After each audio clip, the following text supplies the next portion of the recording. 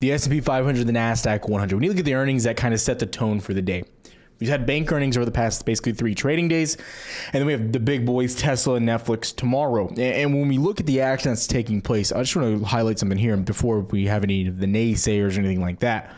You know, expect you know the estimate on revenue for Morgan Stanley 13.5, the revenue reported 23.5. So we're seeing massive beats on these banks. Okay. Now, in comparison, to show you what's happening there, KRE absolutely just ripping and, you know, getting revived like me for the fifth time in Warzone. You know, you go something like XLF, you look what's happening with big banks, and they've obviously just been really coming back almost back to where they were, you know, pre bank collapse, if you will. So that's a good action that we're seeing.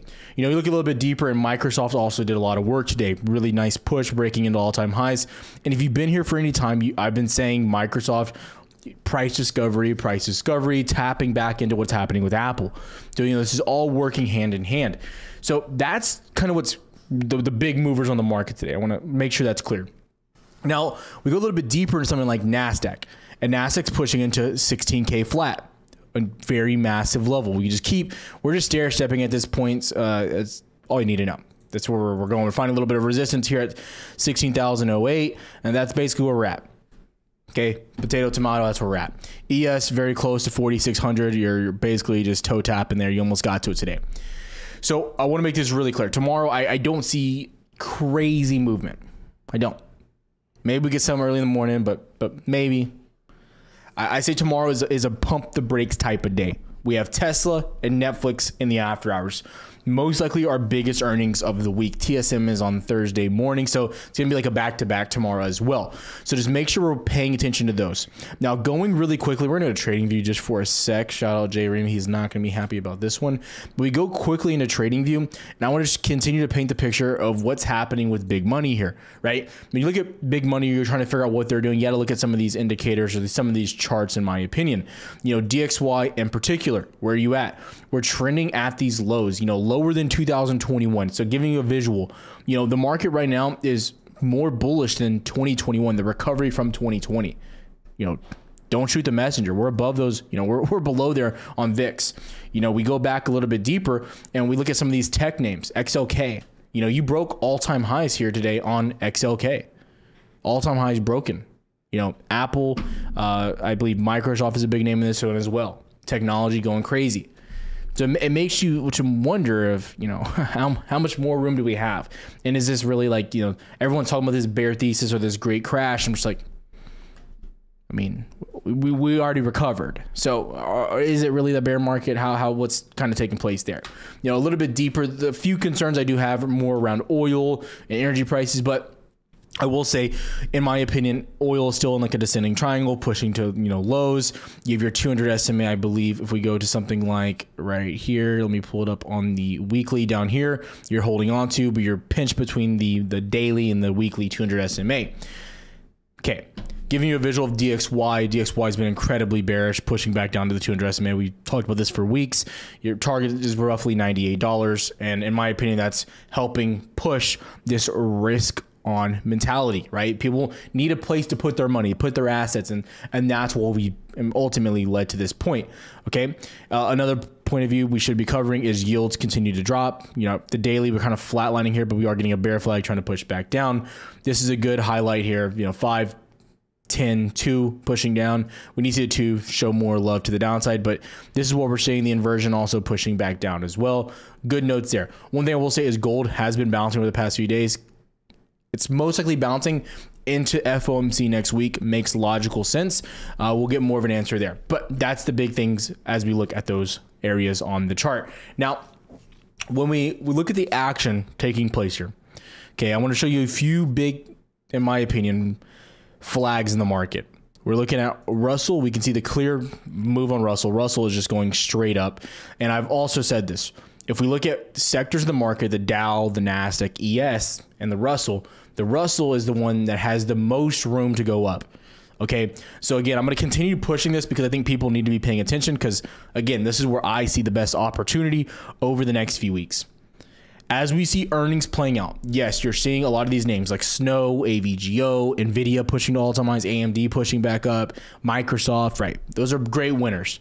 But I'm always trying to find the next play, right? I'm, you know, I'm, I'm, focused on what's in front of me, but then I'm also focused on, hey, how do I make the next one? How do I, how do I get the, the next setup? How do I make sure I'm ready? How do I make sure I'm not over, overzealous, over pushing for an idea or a trade? Okay. Now, before we go into this right here, I want to tell you one thing. Consider liking and subscribing here on the channel. We post videos every single day so you are prepared. If you're interested in joining Discord, the link is down below as well. But if you're a beginner, we do have all education here for free. We do not sell any type of lesson plan or any type of course. We have that all free for you. So if you're new, make sure you start learning before you just jump into Discord or you'll just be completely lost, right? You can also see, compare the plans so you know what's right for you specifically as a trader. Now, getting back into this with Russell again, giving you a visual, this is just the index here, right? So you have your SPY and your ES. So I always say chart ES, chart NASDAQ, and then trade SPY, trade QQQ if that's what you want to do.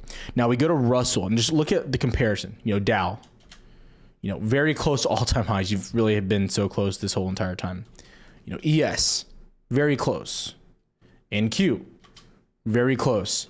Back to Russell, the furthest down, so much room. So that's what I'm saying. With this earning season coming up, I think you're setting the tone for potentially these small mid caps to start really working their way. I'm going to mention some of those at the end of the video, so just stay with me. But that's what we're looking at here. I'm getting very excited about this, and you're seeing what's happening here. You're seeing Russell kind of performing best on the day. Up on the day, 1.4% in comparison to the Dow, 1.1, ES 0.7, NQ 0.82. Again, almost double the performance from Russell in comparison to the rest of the market, which still points to the direction that big money is buying and buying and buying. Just saying, take it for what it is, but you're seeing the opportunity. You're seeing it kind of line up once again. Okay, we need to understand where we're at, how we're playing out. Now, again, I do want to cover a few stocks here. Today we had Netflix kind of go crazy. You're just ripping to the upside. You go to something like the two-hour time frame, just going crazy. Um, you do have a daily. We've mentioned this quite a bit. You have a, this is one of the, top stocks I wanted to buy. I got stopped out unfortunately way back. I just never got back into it. But you know we've been targeting the 506 push going into these earnings as well. I'm going to tell you right now, holding through earnings, any stock, don't even ask, don't even comment down below. It's a terrible idea. You're gambling. So I'm not, I have no opinion. You're not to like my answer. Okay. But I do believe Netflix has a path for profitability. I think they have a path to make money. They have a path to do really good. I'm going to tell you that right now. People may not like to hear it, but it is what it is, especially with what they're doing with the different subscription plans and then the numbers that they are putting out consistently. Okay. Now, Tesla, very interesting what they're doing in Cybertruck, but I do want to say you're coming into a really big level. Tesla, what I'm watching for after earnings is can you get above 314? You get above 314, 315, I think you're pushing to all time highs. My personal opinion, be watching out for that. Um, going in a little bit deeper, some of the favorite stocks I like uh, Snowflake, S N O W. Now, if you follow us on Twitter, I, I posted this earlier. I mean, I've been saying this on repeat. Mount to 185, you already know what to do. You're mounting it, beautiful candle. We go to something like the four hour time frame here. We'll put the candle right there on around 185, roughly, just roughly right there. Beautiful, beautiful, beautiful, beautiful candle right on top of it, right? This is exactly what you want to see. So again, great candle mounted above it, buyers quickly pushing it back over. Beautiful formation happening there. Also going to Amazon, you're trying to hold above the 200 MA on the, I believe, weekly as well. You got a little bit of a rejection there. This is a big question mark here. Can we get back above it? Would be watching that across the board as well.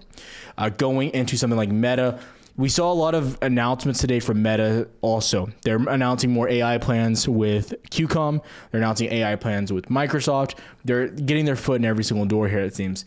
I like what Meta is doing. I still think it's a great trade. Also, too, look at this opportunity you had here. The retest of 304, not flat, but just 304.7, still great and pushing back up. Exactly what we want and need to see. So, again, as we look just across the board the names that we keep saying, and if, if, you know anything about me right now, my favorite names are cloud names Snow, CrowdStrike, CRM. Those are all some of my favorite names, right? But if we look just across the board, you're getting very similar setups just consistently. You you dip down to support, buyer step back in, higher lows, higher highs, consistently time and time again. Now that is not to say that we cannot have a dip. That's not to say we can't go down. We're gonna go up forever. It's to point the viewpoint of this is that you have to understand the trend in what you're trading. If you don't feel comfortable trading the upside, then you wait for the trend to flip, to change, but you might be waiting a while. You have to understand that. And so that's just where we're at here. I recommend it again. hitting the brake, pausing, let some of these earnings play out before you start looking at swings or bigger plays there. Okay, understand what's happening there. Now, I do want to show y'all something really quick. And, and this just goes to show that what we're doing is working, right? And I know I don't like to just highlight Discord and say, oh, well, we make all this money, it's this, it's that. But I do want to say this right here. You know, it is totally, totally working in here because you can see that these swings, this is where you're making your your profitability. This is where you're making your money. Coop, I posted this on dis on Twitter earlier. She's been absolutely killing it. So over the past month, month and a half since she joined Discord, she's up 142% on her portfolio. Now that's not saying because she's following our exact trades, and Coop will probably comment down below in this video. She watches the video every day. But it's to say this that when you start prioritizing your weaknesses and focusing on trading what the market gives you instead of what you want to take from the market, that's when you start to see profitability. That's when you start to see consistent success, right? And so that's all I'm saying here is sometimes it's better to just take a step back, wait for setups that benefit you and your trading style. And that's what I've been doing all along the past four or five months specifically. You know, actually it's around six months, seven months now, going back to January. So that's just how we've been playing and what's worked for us. So again, I just really push you guys to take a step back sometimes, hit a hit the chill button, and just let the setups continue to come to us like they have been. You know, Microsoft. We've been talking about this one for for weeks, right? Clear amount above you know previous highs. We mentioned in yesterday's video, right? 343. You had another one today, and then boom, you shot up. So again, having that patience, being able to just let them come to you and not being over aggressive. That's been the biggest things over the past few weeks. I can only say it so many times. Be patient, pay attention to what's happening and then understand if there's something that you're missing, what you missed and why you missed it so you can correct those specific issues. I'll see you tomorrow. Good luck traders.